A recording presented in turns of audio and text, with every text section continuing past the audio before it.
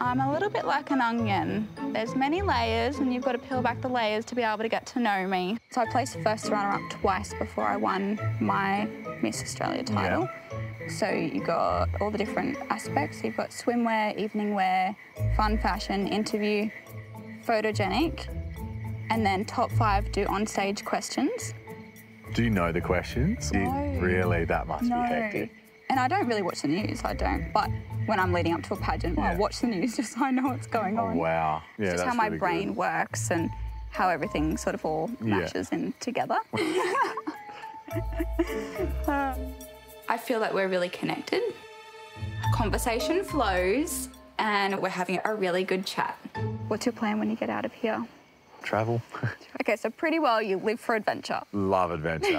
I've base jumped all around the world Have you done the paragliding where you like run and jump off the cliff? with the parasail. That- yeah. yeah, yeah, I've done that. I imagine that's a similar feeling to space jumping though, like to like Well, like jump. base jumping, you're just falling. Like with paragliding, you feel you get picked up straight away. Where base jump, you run and you jump and you're falling.